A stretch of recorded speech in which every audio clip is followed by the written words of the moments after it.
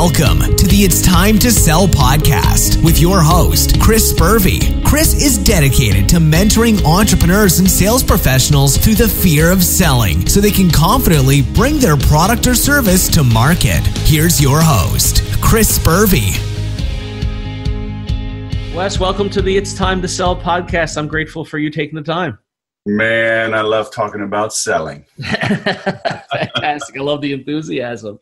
And I'm in Newfoundland, as most people would know. Uh, you're on the other side of North America, California. Where, where in California are you from? A little town called Murrieta in between uh, San Diego and Riverside. Ah, nice. I got a visual. Uh, that's fantastic. Is it a beautiful day there? Uh, I don't, you know, let me stick my head out. Actually, yeah. So, you know, there's this thing they call it, they call it June gloom down here. Yeah. Uh, and it's on the coast, and I'm, I'm a little bit inland. We got a, a little, a small mountain range, more of like some, some tall hills in between us and the ocean. But it, um, it spills over sometimes. So like the mornings are overcast and then it burns off and it's, and it's beautiful. So yeah, it's Cool. uh, the blue sky is starting to peek out. Yeah, it's only earlier there for you. Uh, great stuff. Yeah. Well, why don't you fill us in? I'm, uh, you know, share with the people listening, uh, you know, who you are, what you're all about, uh, what kind of brought you to where you are, loving sales the way you do. Uh, uh, maybe take a couple of minutes and fill us in. Yeah, well, I got into sales full time right out of the Air Force in '97, and um, had a wife, young baby, another baby on the way, and gave up my commission in the Air Force and jumped in.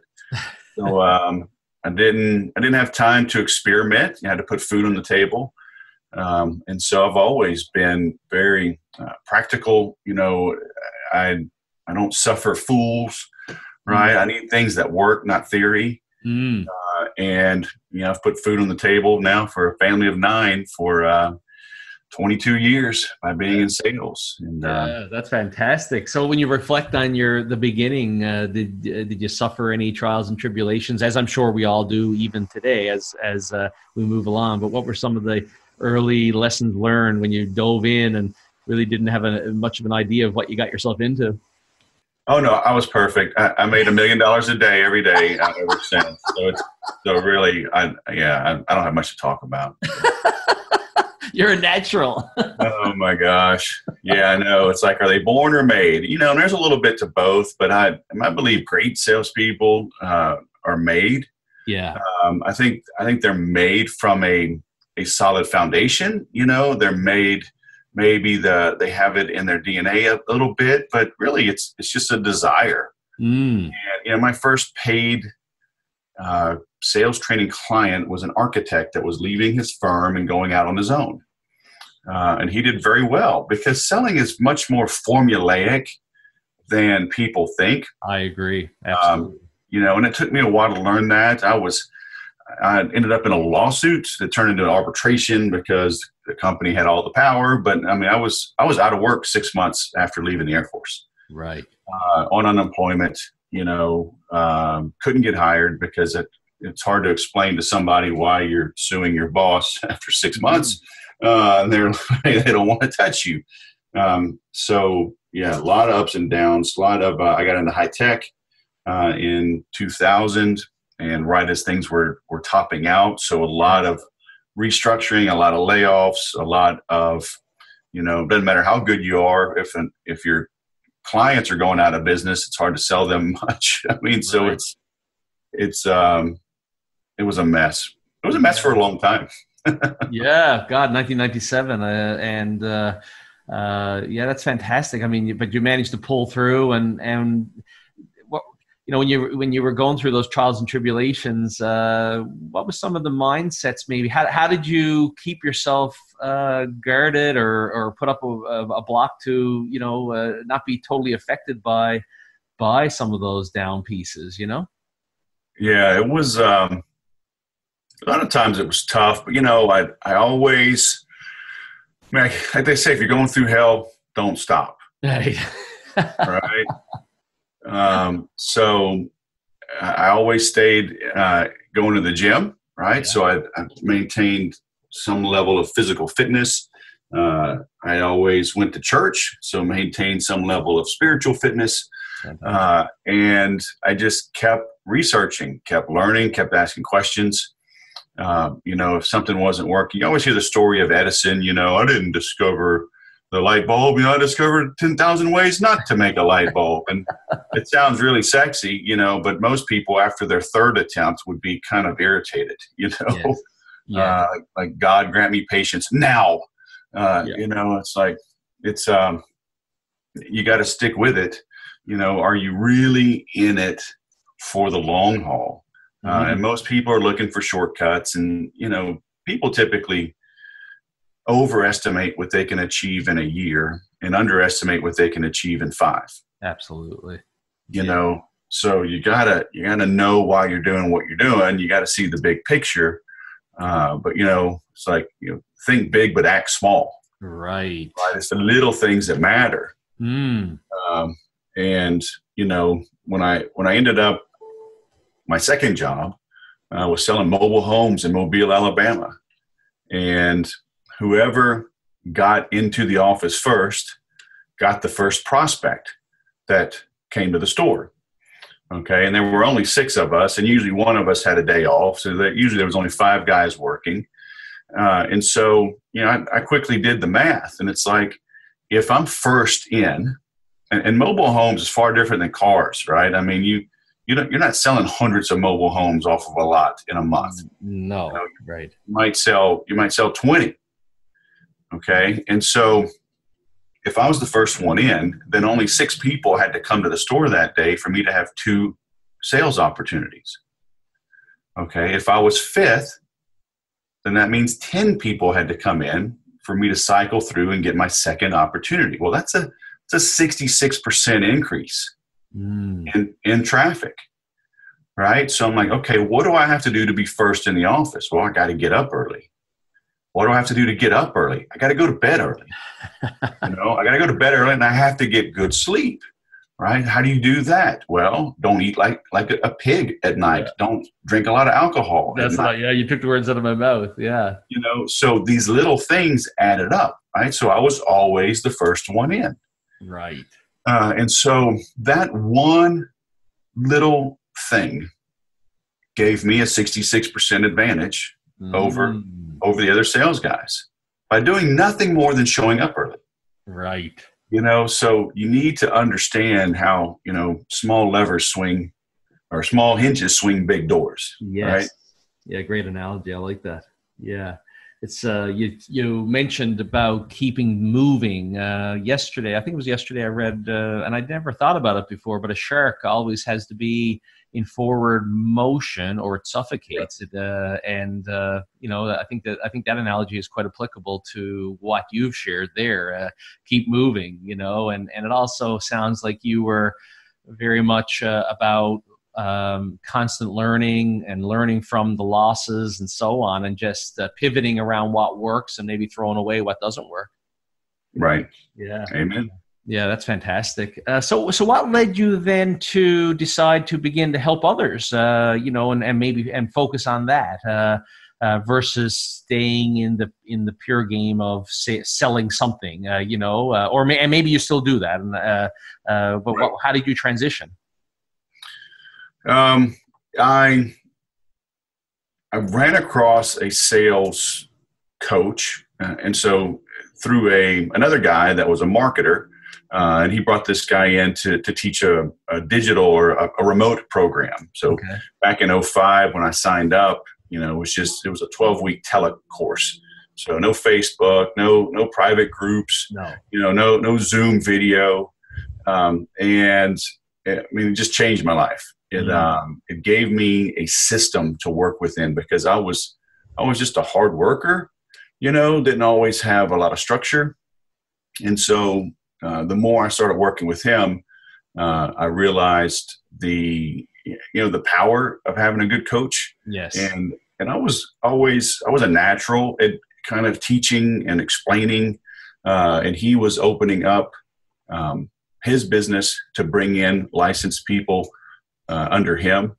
And so uh, I partnered with Steve back then to um, to get started, and, and it was a good thing, good timing because I was with a startup that was starting to struggle, um, and so I spent about six months laying the groundwork, and then I got laid off by them, so I just jumped in full time into the Sales Whisperer. Yeah, that's awesome. I love your brand. It's uh, it's interesting. We have not. We only recently connected on LinkedIn, but uh, uh, I got a feeling. Uh, well, we were both likely getting highly active around the same time on LinkedIn, I, and I knew your brand, even though we were never connected. It must have been through mutual uh, uh acquaintances or whatever on LinkedIn. But uh, but uh, you have a phenomenal brand. How did you choose the Sales Whisperer? Out of curiosity.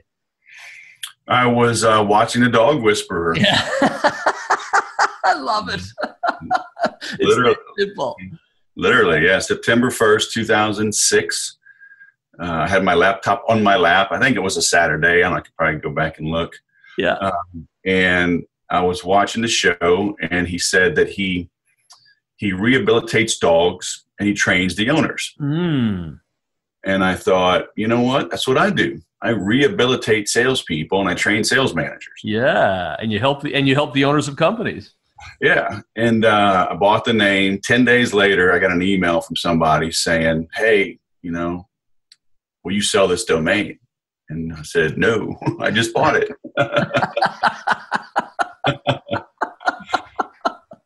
oh, that's fantastic. What a story. I bet you tell that, that. That's a really good story that could relate to a lot of people. I love it. but you know, it's just an example as well, right? Of being open, right? Mm. Open your mind, mm. um, and and good ideas will come to you if if you're open and receptive you know yeah. I, I, was i was open and receptive and and it hit. I was like oh man you know and uh, i emailed steve and he was like man that's a great name yeah. Yeah it's fantastic. I love and and it seems like a, a you know a part of what you um, i guess teach and share uh, is this idea that of mindset uh, you know and that a lot of a lot of what maybe the, the iceberg analogy is is applicable here. Uh, ninety uh, percent uh, of sales is under the ocean, and it's actually the mindset element, uh, and the uh, really the top of the iceberg is the tactics, the process, uh, you know, and all the things you've alluded to so far. Um, Adam, you mentioned earlier that sales and and you it was around process and how sales really can be simplified. I suppose is what I read, what I heard you say. Um, can you break down in a very simple way what you uh, the, the, sales process uh, for those listening? And, and you know, like I told you before we hit record, uh, entrepreneurs are the ones, subject matter experts, people who are out there. They're not actually they're non-sales sellers, as Daniel Pink uh, kind of uh, talked about in uh, "To Sell Is Human."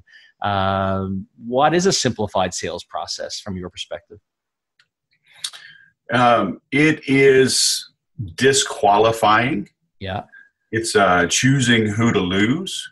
Mm. Uh, you know, understanding you can't help everybody. Uh, understanding that a magnet repels just as much as it attracts. Mm. Okay, so so stop trying to be everything to everyone. Um, understand who you can help, how you can help them, uh, and then shout that from the rooftop. You know, I always tell people, you know, people don't do business with you for only one of two reasons either they haven't heard of you or they have. Mm. All right. So yeah. if you got a bad reputation, then you're in trouble. Um, so assuming your listeners are good people, um, then they just haven't gotten the word out. Yes. And I think there's too much. There's always been too much emphasis on uh, targeting and and um, you know trying to get the in front of the right people uh, and sure, with digital media and, and you can target and segment and custom audiences and Facebook and all that. So you can certainly drill down um, to get in front of what is hopefully the right people. But usually the problem is not traffic, it's not Facebook Lives, it's not your API and PPC and SEM and SEO. um, most people typically have a conversion problem Okay, you don't have a good, clear message. I don't know why I should choose you over anyone else, including doing nothing. And so, if you're running around trying to tweak pixels and change buttons from green to orange for split testing but you don't have a good message that converts, you're just wasting time, money, and, and effort. You know, and sometimes it's hard to figure that message out in the beginning. Uh, and it might change over time as well. I mean, you look at companies as big as McDonald's, you know, in the U.S. Army, even Coca Cola, they change their slogans, their taglines over the years. Yeah. Um, you know, um, IBM doesn't even sell computers anymore. That's right. Okay, McDonald's sells more more chicken than Kentucky Fried Chicken. Right. So, so things evolve, but you know, why should I do business with you? If you can't answer that, then you all of the marketing, everything you're doing is probably not as effective as it could be. Right. Yeah. Wow. There are a million gems in that uh, three or four minute. Uh, the I hope uh, my my virtual assistant that you said the reason people buy from you or do not buy from you is that they either don't know you or do know you. Is that correct? That's it. There's only two reasons. Yeah. I hope my virtual assistant picks up on that quote and puts it on our quote card. That is a, a gem. Um, so when you tell us about sales whisperer uh, who is your ideal client and uh, you know maybe maybe i'll throw it at you why should the uh, the ideal client who's listening hire you yeah and and it depends on who my audience is. Yeah. Right? Because I, I, have multiple messages and that's where so people talk about like having an elevator pitch yeah. right? I, I have an elevator question. You know so when i when i meet people oh hi what do you do? Oh i do a lot of things. What do you do? Yes. Right? Know. so if they tell me you know i'm a, i'm an event planner. I'm you know in charge of hr or whatever then i might tell them you know I, am a sales and marketing keynote speaker. Mm, right, you know, right. that that gets your hungry horny and hungover attendee to wake up, pay attention, and make the needed change uh, that you require from this event. Right? Hungry, horny, and hungry, hungry, horny, and hungover. Is it? right. Well, hey, go look at any conference you've ever been to and look in the audience. You're absolutely right. they're hungry, they're horny, and or they're hungover. That's it. All right. Uh, which brings me to another point. If you don't piss someone off by noon, then you're not marketing. Yeah, that's a great point. You know, so so my other, you know, if I'm talking with um, a, a, small business or even a, mid, a mid-sized business, if they are if they're the owner, if they are the CEO, they're the VP of sales, uh, and you know, and I ask them what they do. Oh, I'm a VP of sales. Oh, you know, I help. Um, and it, again, it depends on the audience. If I'm at a certain type of conference, then you know, I help um, small businesses, you know, automate, integrate, and dominate um, their sales and marketing through you know proper systems and automation. Uh, oh, okay. If it's you know sales managers, you know, then I, I help you um, recruit, onboard, motivate, retain uh, top sales talent. Right. Right. So you gotta you gotta be a little bit um, yeah, um, you got to be aware of your surroundings. Exactly. Know who know who you're talking to. Yeah, I mean, it's just like fishing. Yeah, yeah, I mean, you know, sometimes you need an artificial lure. Sometimes you need a cricket. Sometimes you need a worm. Right. You know, depending on what you're going after. Absolutely. Yeah, and I mean, you and you brought out the, the point of asking questions, which is a very probably an over overplayed aspect of sales. Uh, you know, in terms of the things you read about oh, listening, oh, least well, listening versus talking. And the caveat there too is, you know, I've done this for a long time. Mm. That wasn't my pitch when I started in 2006. Okay, just like just like McDonald's, you know, they just sold hamburgers, French fries, Coke, and malts. Right. Okay, when Ray Kroc bought them. Yes. So so I have the luxury of having a few offerings because I've stuck it out for 13 years. Exactly. Okay. If somebody, if you're listening to this, you're brand new, you better drill down. You know, do you sell hamburgers or do you sell, are you Chick fil A, right? You just do chicken? Are you, you know, In and Out, just sell hamburgers? Are you McDonald's? You sell breakfast and chicken and, you know, uh, vegan options. Okay.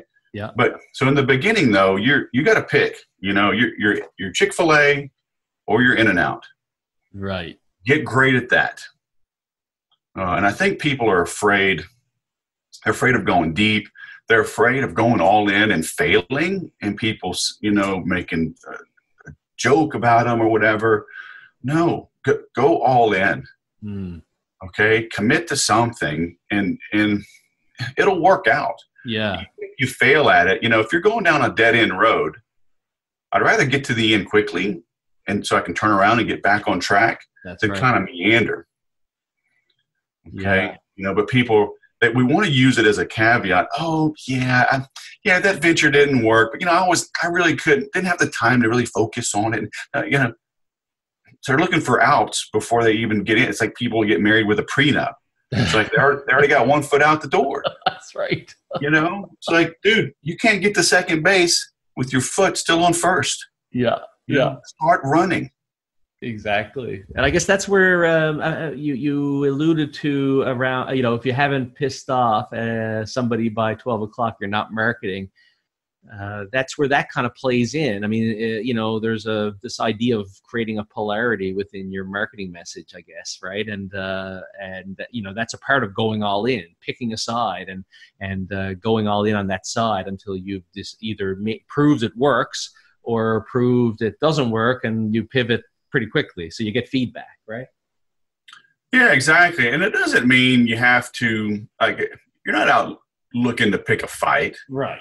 right? But you know, if you sell Fords, then proclaim the greatness of Ford. Right. Okay. And your Chevy lovers, your Dodge lovers, your Toyota lover, they're gonna pounce on you. That Ford sucked, found on road dead, blah blah. Okay, great. They're not gonna buy from you anyway. They're committed. Yeah.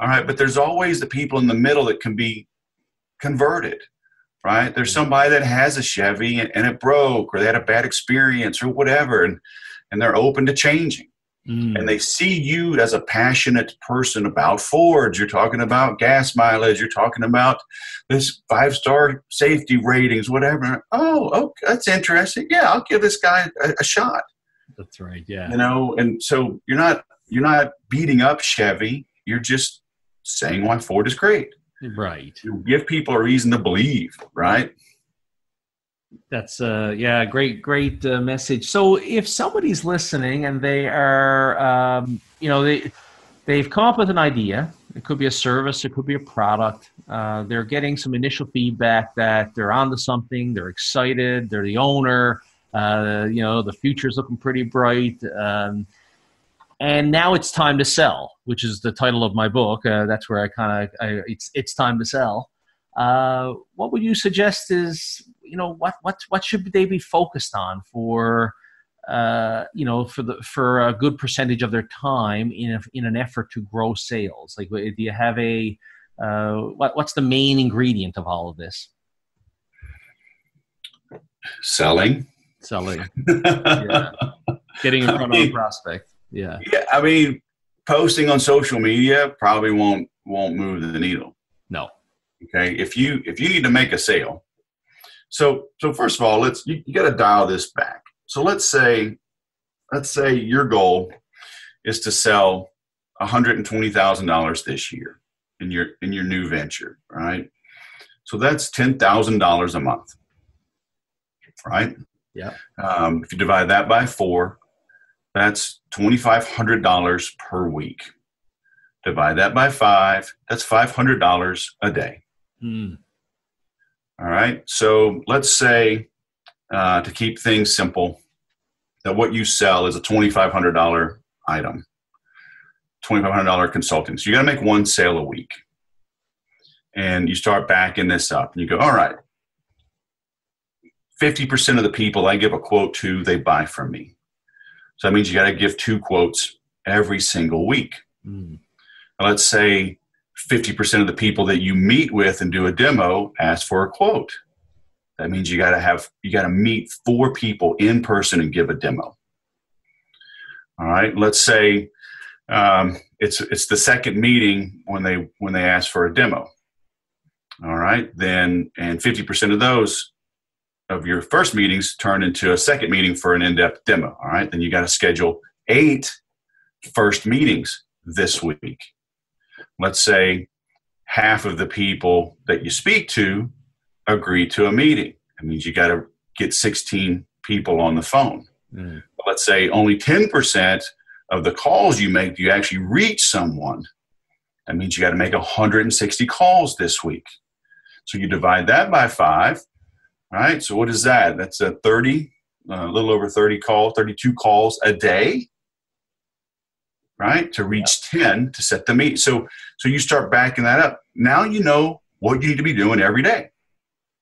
So on top of these calls, now maybe you go to Chamber of Commerce functions, maybe there's trade shows you can go to and and jumpstart some things.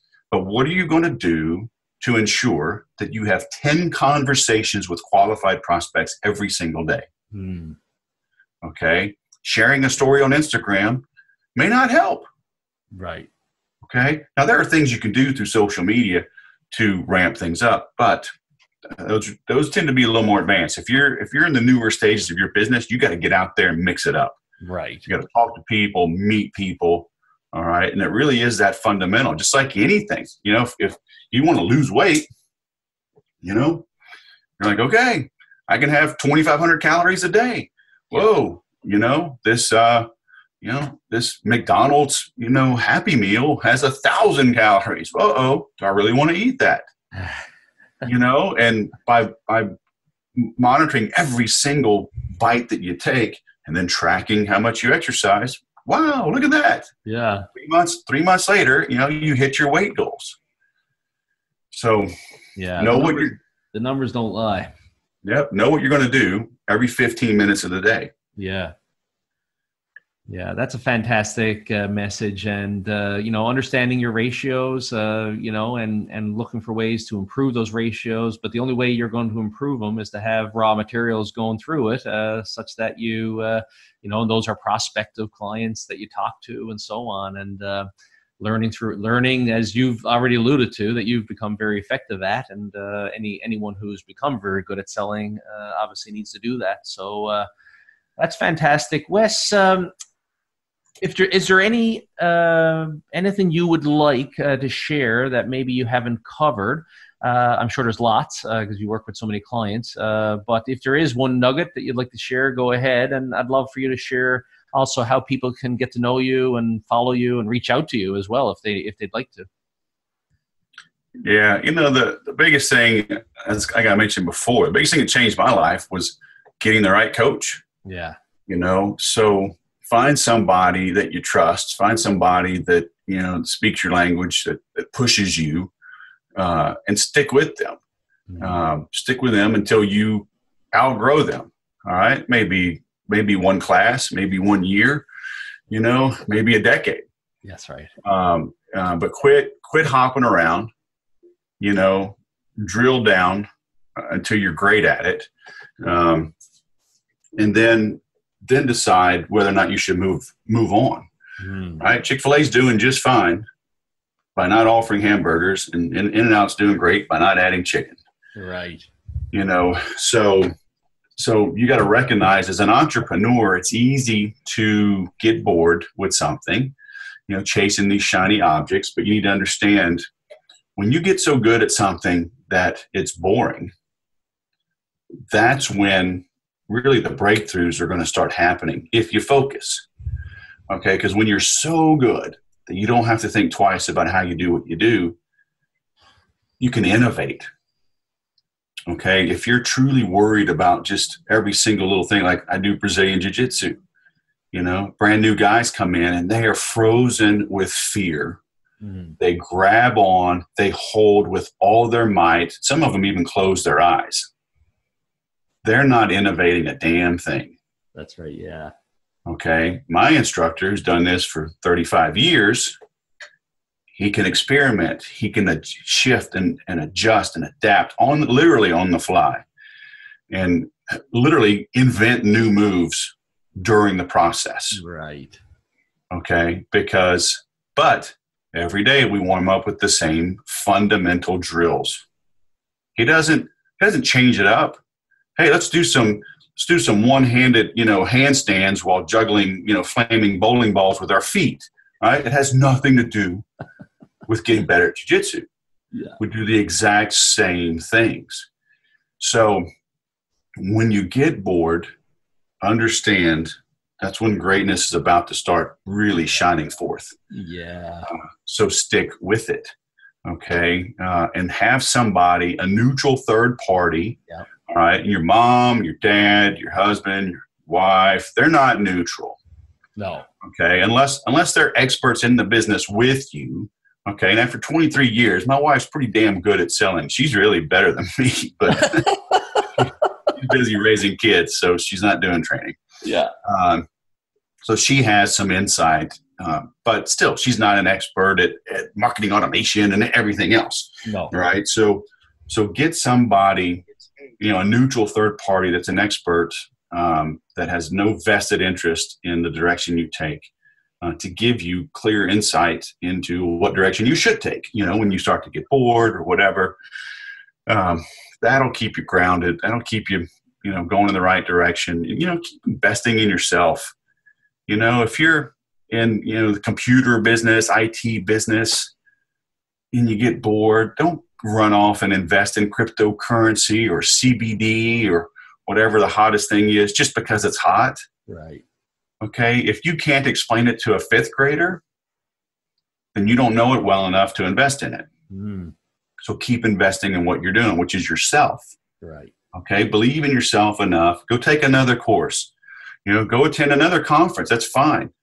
Um, you're, you're better off spending five hundred or five thousand dollars. You know, going to a conference or workshop or whatever in your industry than putting that five grand or fifty grand into some harebrained thing that somebody's excited about, and because you're bored mm. and what you're an expert in, you let yourself get sidetracked.